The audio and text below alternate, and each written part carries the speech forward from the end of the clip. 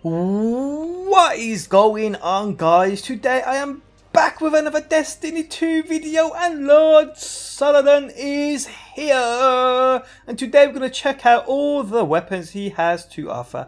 Now I know these were leaked to Reddit last night but it's not quite the same as seeing them in game. But before we go any further, guys, you want to win some epic loot. I've got emblem codes, sparrow codes, gift cards, and much more. To win some, simply drop a like on the video, leave a comment down below, and join my Discord server, linked within that video description. So once you spawn into the tower, he's located up and to your right, basically above um, Lord Shaxx. So here we go. Let's go, let's go, Iron Banner is here. Okay, complete Iron Banner matches to obtain Iron Banner tokens and earn level 20 rewards from this faction. Okay, so this is all I'm grinding all week, people. So this is what's available.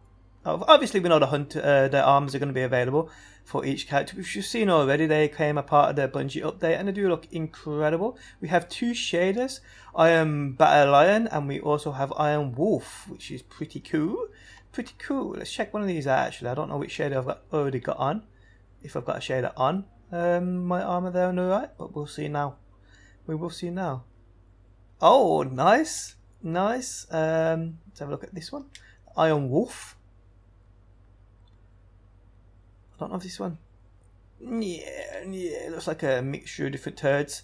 Um, weapons. Okay, so we have the auto rifle, the forward path. Okay, so is looking pretty much like the um, the origin story, just a reskin, which we knew was going to happen anyway. Uh, tap the trigger, armor piercing rounds, extended mag. Okay, that's cool. That's cool. What else we got here? We have the Wizened Rebuke, I think that says, the fusion rifle. Um, again, we've seen that before. just a different shader and a badge on the side. Backup plan liquid coils and enhanced battery. Okay, so let's move on. We have here the Days of Fury, which is a grenade launcher. On this we have snapshot sights, um, mini frags, smite grenades, and that's about it. It's looking pretty cool though. It's looking pretty cool. Um, what else we have? We have a hand cannon called the Steady Hand. Um, actually quite decent impact on this. Eight bullets in the mag though. Um, we have only Outlaw, nice. Uh, Flared Magwell and Alloy magazine. Faster reload when the mag is empty. This is gonna instant reload. Damn! I wonder if they do. They must. Um, they must stack. Faster reloads when the magazine is empty, but yeah, it states it lowers reload speed. Is that what? What's going on there? Um, I ain't got a clue.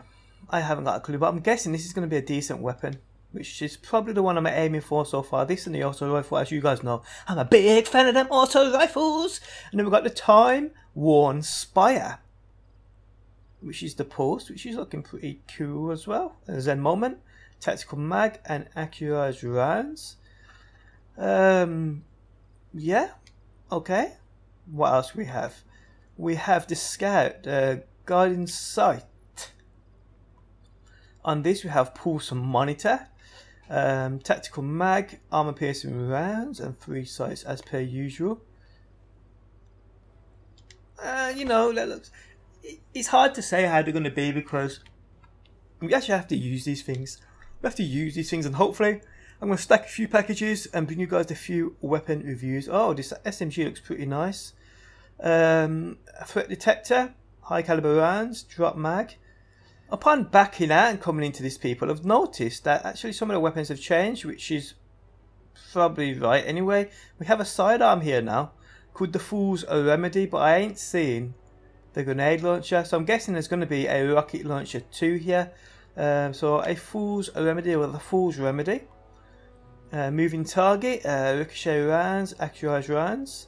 So yeah, we're going to keep backing out until we get the rocket launcher to pop up if it's even possible. So yeah, let's do that.